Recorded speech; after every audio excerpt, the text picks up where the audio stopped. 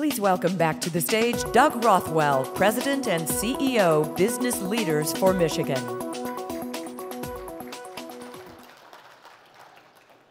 So, my job now is to actually go through some numbers with you to back up what Albert and Barry did a great job talking about here this morning. And uh, I just want to reinforce uh, the last words that they both said, which is that we at our organization, Business Leaders for Michigan, really try to base what we do uh, and our ideas and our plans not on kind of what we think, but on what the facts and the research actually says.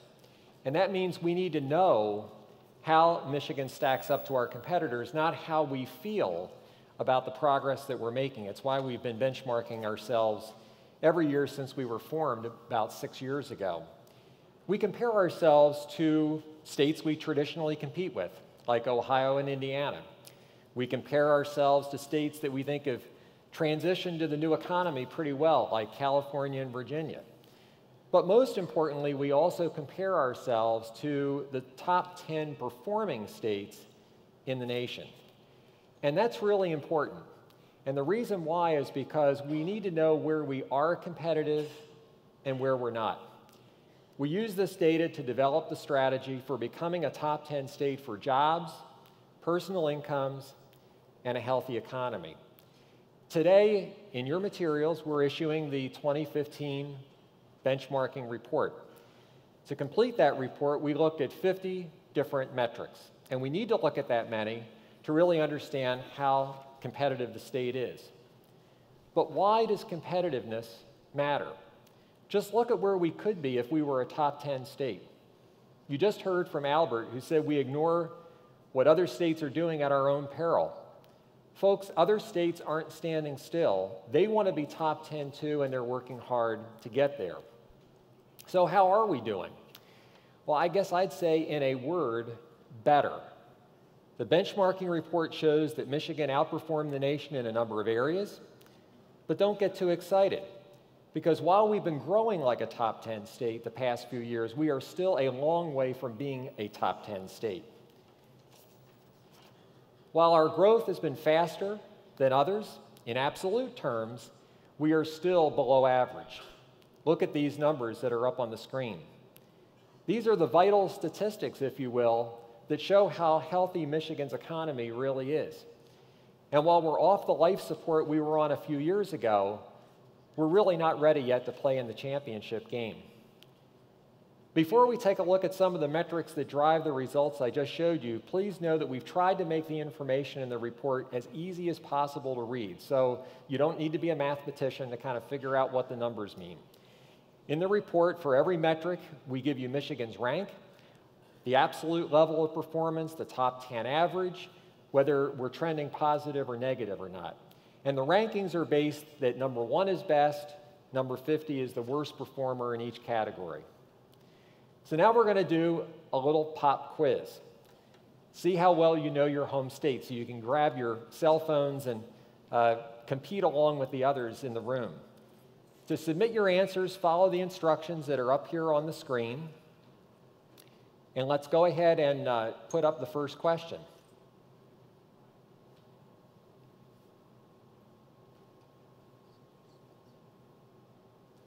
A is true, B is false.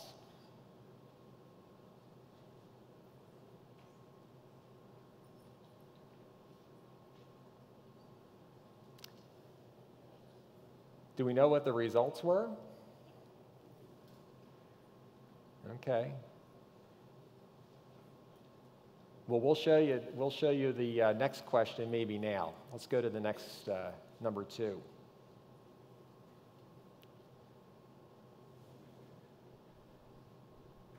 How many of you think that's true versus false?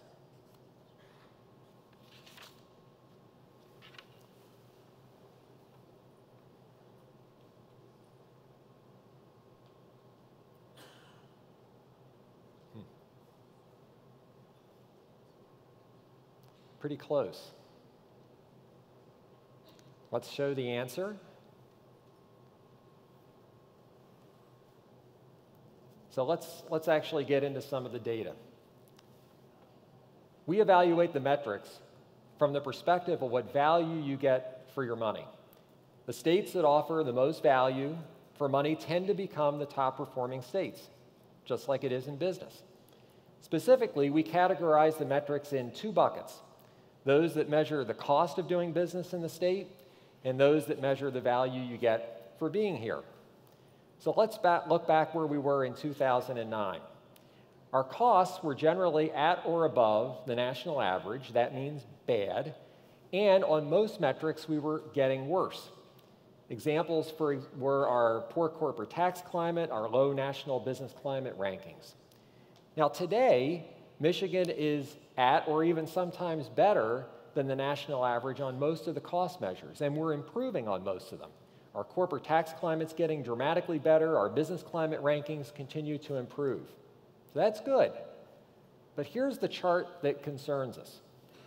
Look at how we've relatively lost ground on the value we provide for being here. Like costs, back in 2009, we ranked low on most of the metrics. But unlike the cost metrics, we were treading water rather than continuing to get worse on them. For example, our infrastructure problems hadn't really started to escalate just yet. Our talent challenges were masked by the high unemployment that we had. But by 2014, we see the evidence of really the cost of failing to deal with these issues and deal with more progress over the last decade because other states aren't standing still. Our infrastructure got worse because we didn't invest and other states did. Our talent production improved, but not as fast as other places did. Now, here's a slide, this next one, that is another way of looking at this issue. When you look at where Michigan stands on all the cost and value metrics combined, we score average or above on about 40% of them. Not too bad. But if you just look at the value metrics, we score below average on 80% of them. That's a problem. Because while the cost of doing business in a state will always be important, and we've made real progress here, the value you get from being in a given location is equally, if not becoming more important. And that's our challenge to improving these numbers, improving the value we offer for being in Michigan. Think of our challenge this way. We live in a world where the biggest taxi company does not own vehicles. The biggest lodging and hospitality business has no real estate. We're a company that is entirely virtual, Facebook, has a market cap nearly twice that of the three of the most capital intensive companies in America GM, Ford, Fiat Chrysler combined. These companies are just a few examples of how our economy is undergoing seismic changes. Every well established company, even well established companies in so called traditional lines of business, are radically changing. Think our car companies. They're transforming into becoming mobility ones. The leaders in our office furniture industry don't think of themselves as producing furniture, they think of themselves as productivity consultants. Tom Kelly, our keynote speaker, is going to talk more about these changes later, but the companies that are going to thrive in this new world that we're in have some common needs. They need access to top talent. They need places that cultivate and thrive on innovation, that leverage their assets, governments that fully support them. The places that get this recipe right are the ones that are going to thrive. Let's start with one ingredient having a great supply of educated and skilled talent. If you look at the jobs that will be available in the future, the gap between what those jobs require and what Michigan's producing today is incredibly large. More and more jobs are requiring people to have an education beyond high school. And while the level of highly educated talent available in Michigan has increased, in the last decade, we still rank among the bottom half of all states. We're slightly below average in terms of the technical talent available in Michigan. While the number of critical skill degrees and certificates awarded per capita in our state has increased 50% since 2005, the level of degrees awarded are still 12% lower than top 10 averages in 2014. This was one of your pop quiz questions. I mean, seriously, how can Michigan compete when only 22% of our high school graduates are considered career or college ready? While the percentage of college and career ready graduates improved some last year, Michigan is in the bottom half of all states and was outranked by all but three of our peer states. We heard about how our population isn't growing that much, which means we're becoming a smaller market to be in. Now, our population has stabilized and has actually begun to increase the past few years, but our population growth was slower than all of our peers except for Illinois. That shows up in our median age. Michigan was among the top 10 oldest states in 2013 with the ninth highest median age, and that means we have fewer young people to fill the jobs we're trying to create and many older ones we need to take care of, like me. That's higher than all of our peers and all of the top 10 states except for Pennsylvania. The rate of out of state enrollments at higher education institutions in Michigan was less than half of the top 10 average in 2012 and trailed all but four states in the nation. This is important because we're getting older and our population isn't growing much. Now, on a positive note, we're generating a lot of innovation in Michigan. Our research universities rank sixth in the nation, higher than all of the top 10 states except Massachusetts. And we've also historically been a state with very high industry research and development rankings as well. But our research isn't being translated as much into entrepreneurial activity as we'd like to see. We've improved in recent years, but we still rank below average on this measure.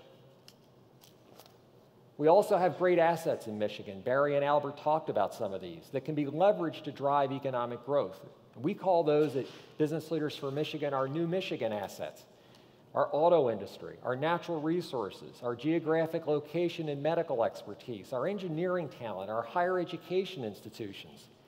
But we're not taking full advantage of these assets because we keep vacillating on how much to focus on them or how much to invest in them from election cycle to election cycle.